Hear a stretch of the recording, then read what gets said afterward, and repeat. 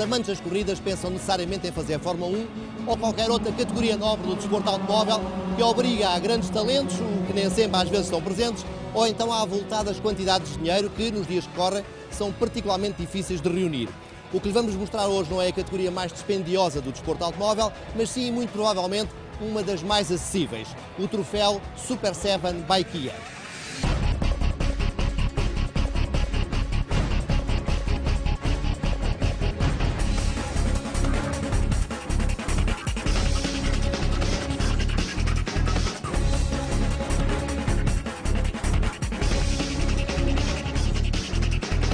Este troféu é um sucesso e isto porque propõe um carro eficaz e divertido de conduzir, que mais parece um pequeno Fórmula, por valores muito em conta.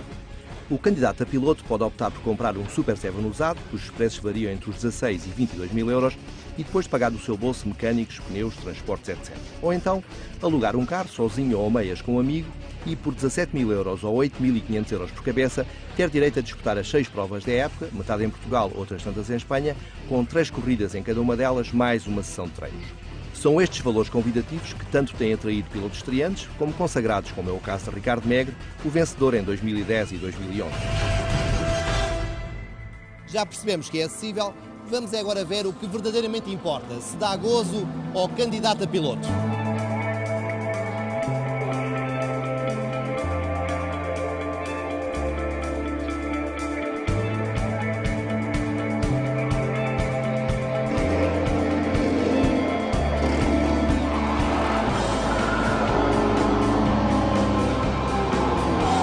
A base deste Super 7 by Kia é o conhecido Caterham, com apenas 515 kg de peso e extremamente baixo e largo, que permite curvar bem sem os problemas criados pelas transferências de massas típicas dos veículos mais pesados.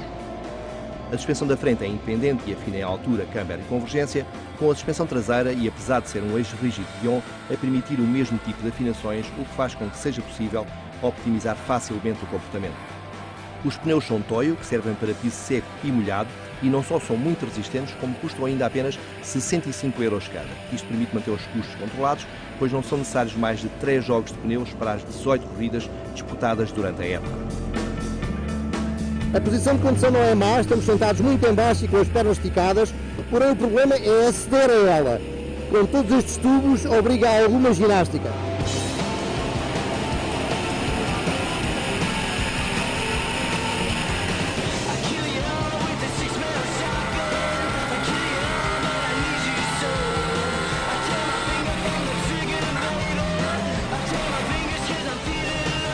O nosso Super 7 é um dos que habitualmente está reservado a convidados, pelo que não usufrui da atenção constante de um único piloto, nem possui a melhor das afinações.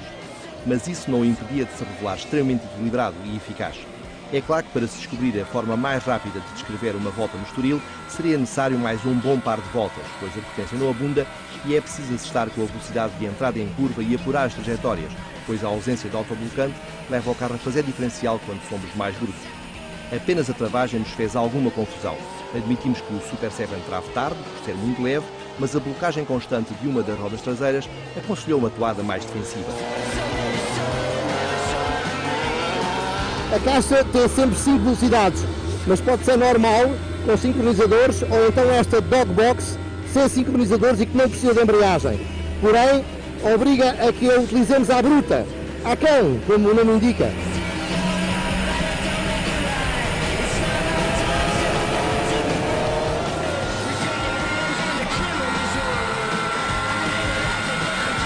Caixa utilizada pelos carros em competição é normal, com sincronizadores, mas é também o ponto mais frágil do modelo, exigindo ser tratada com o máximo cuidado para não causar problemas. É este o motivo que levou a organização a testar a Dogbox que nós utilizamos, uma caixa sem sincronizadores que exige mão firme e decidida, mas que se tem revelado quase inquebrável. O motor não impressiona, tem pouco mais de 130 cavalos.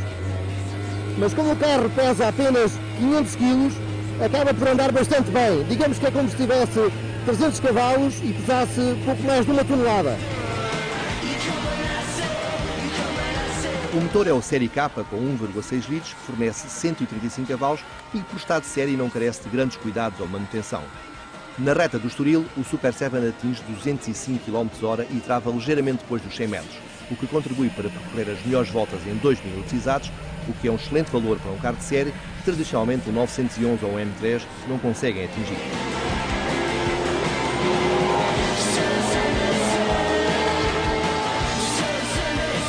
Portanto, o candidato a piloto pode optar por comprar um carro deste por cerca de 20 mil euros e depois suportar todos os custos adicionais ou então alugar um por 17 mil euros, fazer seis provas e não se passar com mais nada. Eu, pela minha parte, vou ficar aqui à espera da grua para ver se consigo sair daqui a tempo de ir para casa almoçar.